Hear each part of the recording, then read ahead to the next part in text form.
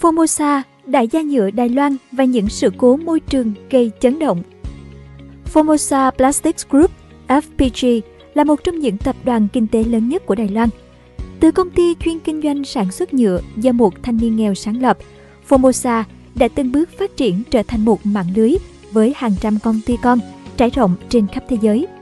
Tuy nhiên, song song với những thành công vang dội, Formosa cũng bị liệt vào danh sách đen khi liên tục gây ra những sự cố môi trường chấn động.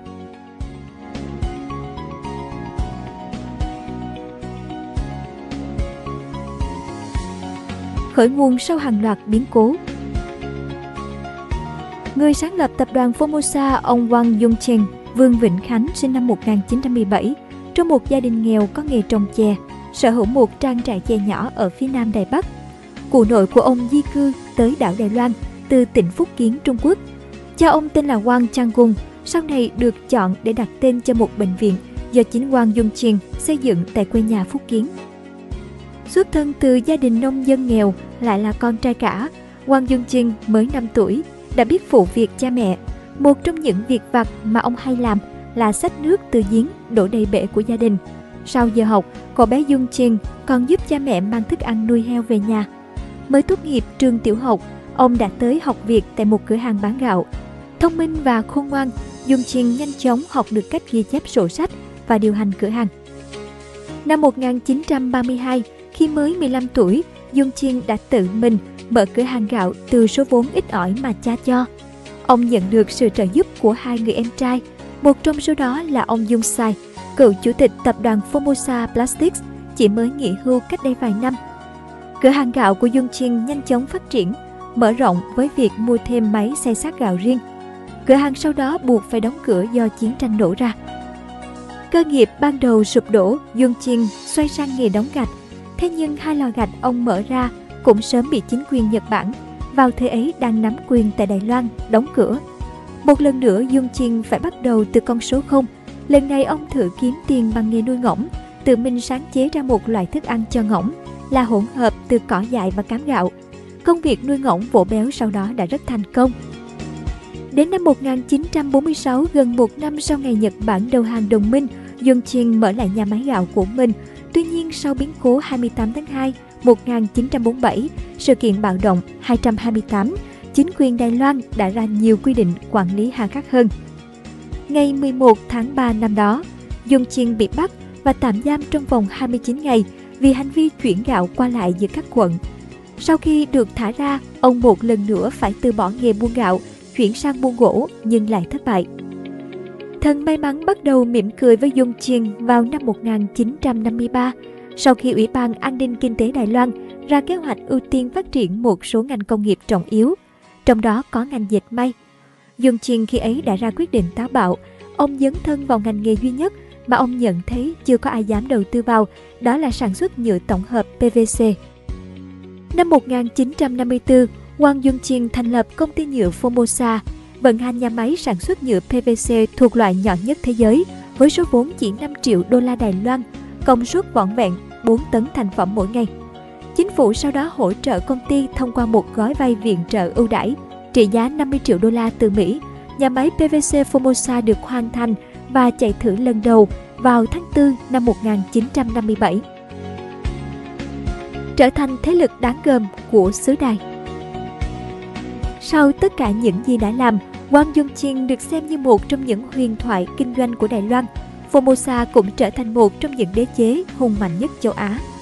Wang Yongqing nghỉ hưu vào năm 2006, vào thời điểm Formosa đã trở thành một tập đoàn toàn cầu khổng lồ. Năm 2012, doanh thu của tập đoàn Formosa đạt 78,1 tỷ đô la Mỹ, tổng tài sản đạt hơn 100 tỷ đô với tổng vốn hóa thị trường đạt 28,5 tỷ đô la Mỹ. Năm 2008, Wang Yongqing qua đời ở tuổi 91 với lượng tài sản ước tính khoảng 6,8 tỷ đô la. Con trai ông trở thành chủ tịch tập đoàn Formosa tại Đài Loan. Ngoài ra, bà Châu Wang, con gái ông Wang Yongqing, cũng tài năng không kém. Bà được biết đến với vai trò là chủ tịch và là người sáng lập ra hãng sản xuất smartphone HTC, được Forbes xếp hạng thứ 46 trong top những người phụ nữ quyền lực nhất hành tinh năm 2012. Từ một công ty chuyên sản xuất và kinh doanh nhựa, Ngày nay, Formosa đã phát triển thành một mạng lưới hàng trăm công ty con với bốn đơn vị lớn nhất bao gồm Formosa Plastics Corp, Nanya Plastics sản xuất nhựa, Formosa Petrochemical hóa dầu và Formosa Chemicals and Fiber sợi nhựa, vải. Ngoài nhựa và các sản phẩm hóa dầu, Formosa còn đầu tư vào lĩnh vực thép, chất bán dẫn, điện, vân vân. Ngoại trừ Nanya Plastics, ba công ty còn lại đều đứng trong top 1.000 công ty đại chúng lớn nhất thế giới năm 2012 theo xếp hạng của Forbes.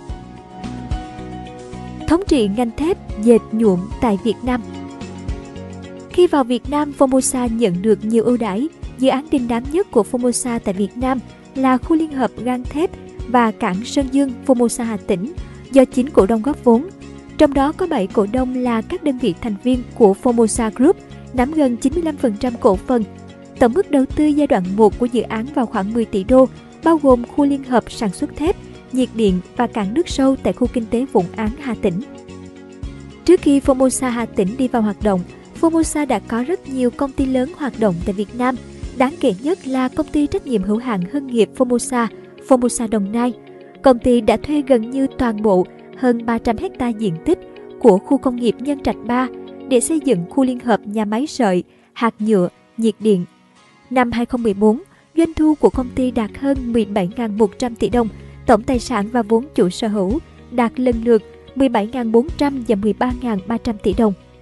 Bạn đang xem video trên kênh Người Thành Công, đừng quên nhấn nút đăng ký bên dưới để ủng hộ nhóm nhé! tàn phá môi trường nặng nề ở nhiều nước. Mặc dù tạo ra nhiều giá trị về kinh tế, thế nhưng Formosa cũng vướng vào không ít những lùm xùm về môi trường. Năm 2009, Tổ chức Bảo vệ Môi trường của Đức Ethicon đã trao giải Hành tinh đen cho tập đoàn này. Giải Hành tinh đen vốn được dùng để bêu tên các doanh nghiệp gây ảnh hưởng tiêu cực tới môi trường lớn nhất trong năm. Ethicon còn cho rằng Formosa phải chịu trách nhiệm vì đã hủy hoại môi trường sống trên diện rộng – gây ảnh hưởng sức khỏe con người, thậm chí khiến cho nhiều người tử vong.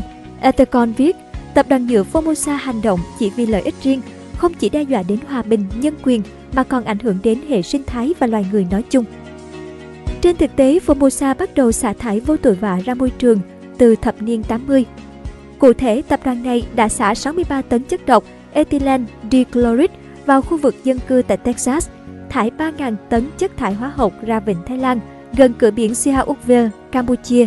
Năm 2004, nhà máy Formosa tại Illinois của Mỹ đã nổ sau khi gặp sự cố, làm cho đất, nước, không khí trong khu vực bị ô nhiễm, khiến toàn thể dân cư quanh vùng phải di tản đi. Năm 2009, các nhà khoa học tại Texas của Mỹ đã được một lượng lớn chất độc trong đất và không khí ở xung quanh nhà máy của Formosa. Những nông dân trong vùng nhận thấy rõ được những thay đổi trong môi trường và thu nuôi, ví dụ như là bò giảm cân, số lượng bò con dị dạng tăng cao, tỷ lệ thụ thai của gia súc giảm xuống.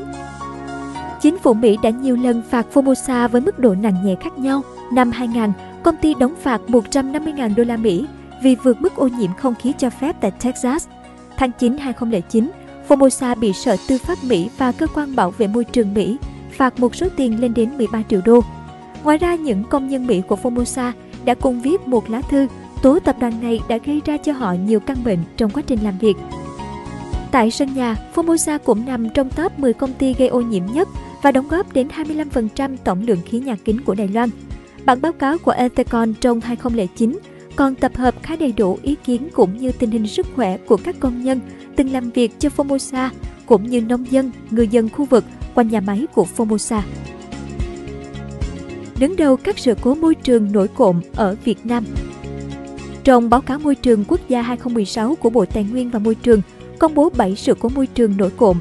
Sự cố môi trường biển miền Trung do nước thải công nghiệp của công ty trách nhiệm hữu hạn gang thép Hưng nghiệp Formosa Hà Tĩnh gây ra được xếp đứng đầu. Sự cố này bắt đầu từ ngày 6 tháng 4 2016 khi cá chết hàng loạt trên vùng biển cảng Vũng Án thuộc địa phận thị xã Kỳ Anh Hà Tĩnh. Sau đó sự cố lan rộng các tỉnh Hà Tĩnh, Quảng Bình, Quảng Trị và Thừa Thiên Huế. Theo báo cáo, sự việc trên gây thiệt hại nặng nề cho ngành thủy sản tiếp đến là hoạt động kinh doanh, dịch vụ, du lịch và đời sống sinh hoạt của ngư dân. Nguyên nhân được xác định là do Formosa Hà Tĩnh gây ra trong quá trình vận hành thử nghiệm tổ hợp nhà máy. Sự cố đã khiến cho nước thải có chứa độc tố phenol, cyanua chưa được xử lý đạt chuẩn xả ra ngoài môi trường. Formosa đã nhận trách nhiệm, công khai xin lỗi và bồi thường 500 triệu đô la Mỹ, đồng thời nghiêm túc khắc phục các vi phạm. Cảm ơn bạn đã xem video trên kênh Người Thành Công.